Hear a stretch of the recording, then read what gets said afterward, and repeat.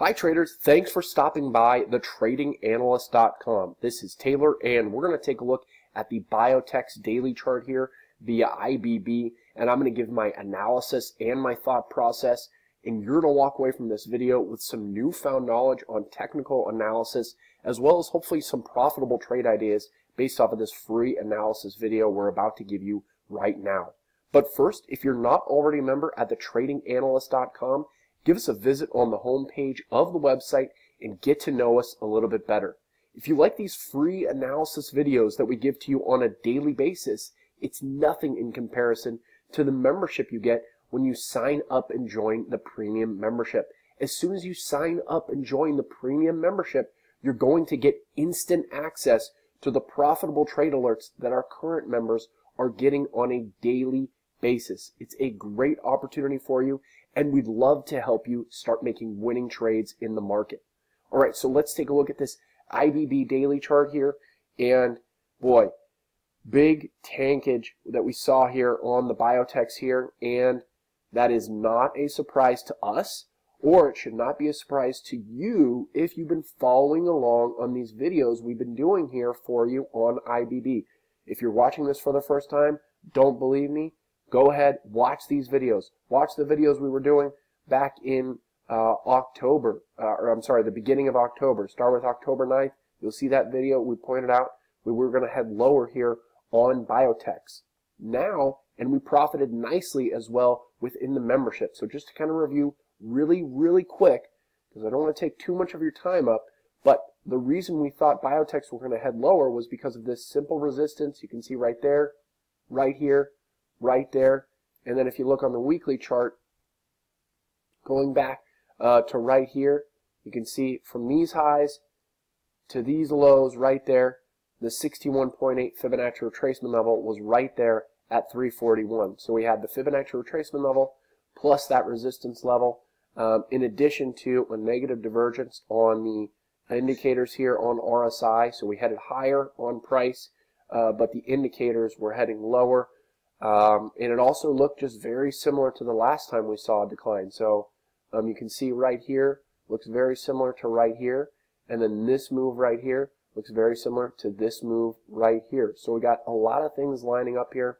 Um, but the short trade to me, I think is coming to an end here um, soon. Uh, we were targeting here near about 320. Um, and it's almost time to flip to the long side. And you know, I'm saying flip to the long side. I have no bias about where biotechs um, are headed. They could go to zero. They could go to 500. It really doesn't make a difference to me. Uh, the only thing that I want to do is be profiting, profiting on whichever direction they are headed. And so right now we nailed this short trade, but now uh, we're coming into a long opportunity. So again, we don't care whether we go long or short doesn't make a difference to us, okay? So all we want to do is make money off of the direction that it's headed. So why do we like uh, Biotechs for a long here against this uh, trend line? Well, because we got this trend line. It's beautiful. Started back here last November. Got a bounce right here off of it. Here's another bounce right off of that trend line. And then we also have a Fibonacci retracement level. You can see we're right here, drawn from this major swing low to this major swing high, we've got the 61.8 Fibonacci retracement level, and I teach this in the membership, so you're not going to get confused at all. These Fibonacci retracement levels are very useful, and we talk about them all the time in the membership. So we've got this Fibonacci retracement level matching up perfectly with this trend line. So, and as you can see, you know, last time we dipped right here, and obviously um, if you remember back here, we called for some downside as well, but we also called for a bounce off of this level as well because of that trend line, and it was also a previous resistance right there, and then it turned into support uh, right there. So again, similar thing I think is going to happen right here. Um, is it going to bounce and, and go on to make new highs? You know, I can't really say.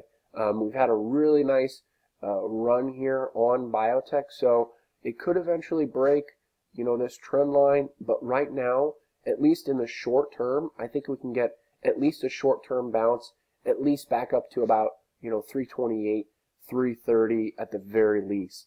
Um, and then more than likely we'll come up here um, to fill this gap up here at about 335 right there. So that's what we're seeing on the biotech sector. So thank you for stopping by and watching this video, everyone. I really appreciate it, and I really hope that you learn a lot and you're learning a lot from watching these videos. If you want to take your learning and your trading a step further, then go ahead and sign up for the premium membership. As soon as you sign up and join the premium membership, you're going to get instant access to profitable trade alerts just like the one that we alerted to members on this IBB short play. It's a great opportunity for you and we'd love to help you start making winning trades in the market.